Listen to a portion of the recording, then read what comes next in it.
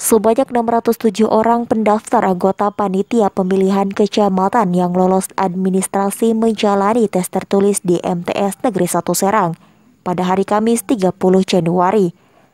Dalam tes tersebut akan diambil 10 besar. Ketua Komisi Pemilihan Umum Kabupaten Serang ABD Nasyar mengatakan bahwa dalam tes tertulis ini pihaknya mencari dua kali lipat kebutuhan – yaitu sekitar 290 orang. Oleh karena itu, dari 607 orang yang mengikuti tes tertulis akan diambil 10 besar. Dari sekian banyak pendaftar, paling banyak berasal dari Kecamatan Padarinjang, sebanyak 37 orang, Pontang 32 orang, kemudian Jawilan dan Bojonegara. Menurutnya pada rekrutmen PPK kali ini mengalami kenaikan dibandingkan pilkada sebelumnya.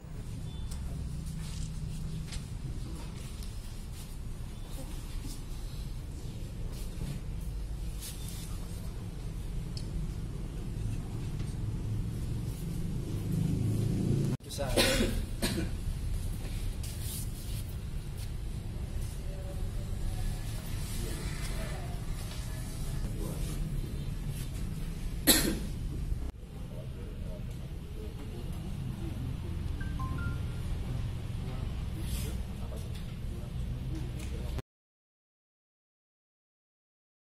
Dindin Kabar TV melaporkan.